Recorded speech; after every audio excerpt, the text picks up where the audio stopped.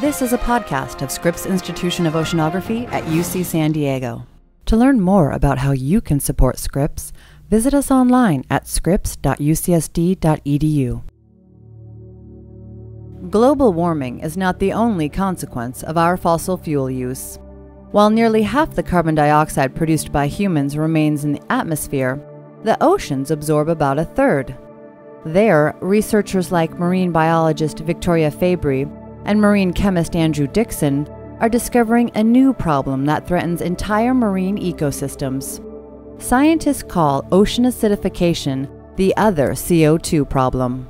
Ocean acidification has, in fact, been called the other CO2 problem, where uh, people are very much aware, I, I think, that if you put CO2 in the atmosphere, it causes global warming. But another problem is also ocean acidification. When you put CO2 into the ocean, it lowers the pH of, this, of the seawater and it also decreases the carbonate ion concentration, which is an important building block in the shells and calcium carbonate skeletons of many different organisms. Once it was really apparent that CO2 was increasing in the atmosphere, and this is really work made uh, clear by the work of Charles David Keeling here at Scripps. He also pointed out that of the total amount of CO2 that was being produced by burning fossil fuels, only about 40% was remaining in the atmosphere. The rest was going somewhere else, the oceans, land plants people realized that if it was going to dissolve in the oceans, it was going to have these chemical changes. The first papers I saw discussing this were published in about 1973. But at that time, people did not see this as a problem where the concentration of carbonate ion mattered directly. What they saw was that if you got to a certain level where calcium carbonate would start to dissolve, that is, the carbonate ion concentration was so low that the mineral would dissolve, then it would be a problem. And if it was above that, then it wouldn't be a problem. That's how people viewed it.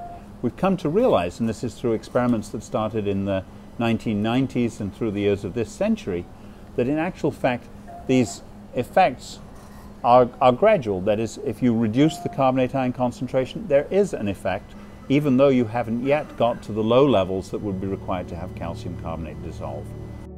Scripps scientists are using the data plotted in the famous Keeling curve and the rich archives of ocean data collected by the institution to put the problem of ocean acidification in context. Other key resources are the samples of ocean water prepared in Dickson's lab that have helped to create over the past 20 years the reference standard for measurement of carbon dioxide and alkalinity levels in seawater.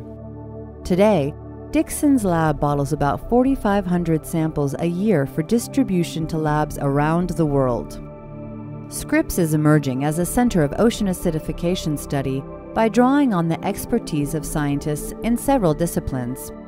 Last November, Scripps physical oceanographer Uwe Send and Scripps biological oceanographer Mark Ohman joined a variety of collaborators, including scientists from NOAA, to add carbon dioxide sensors to moorings deployed off the Southern California coast.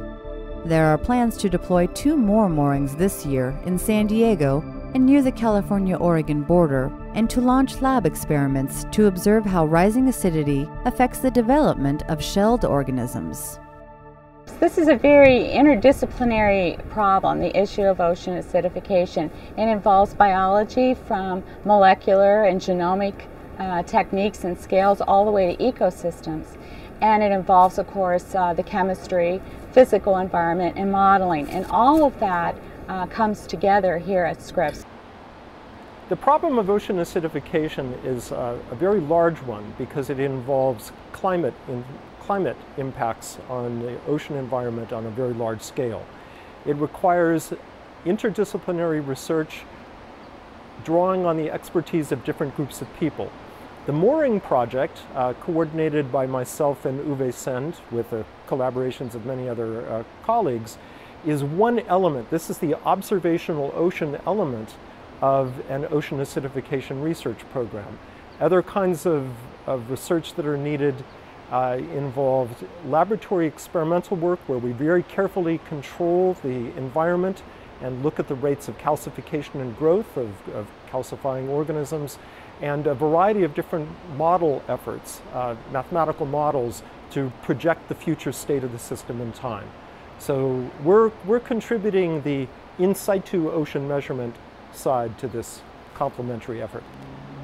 Much more research is needed to know when, where, and to what extent acidification trends will affect ocean waters.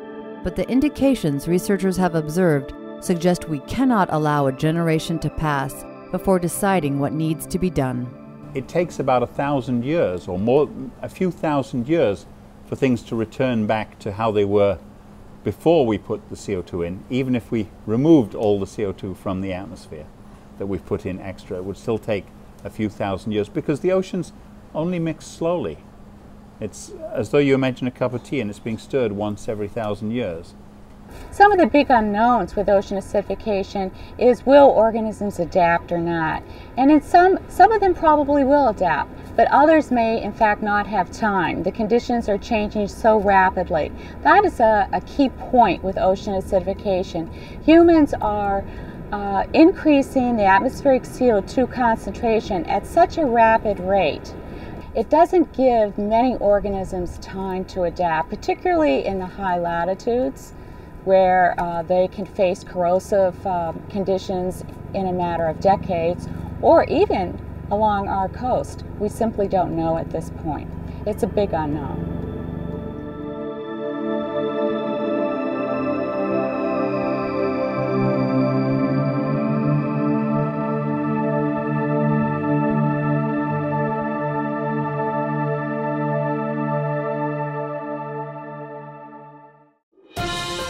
This has been a presentation of Scripps Institution of Oceanography at UC San Diego.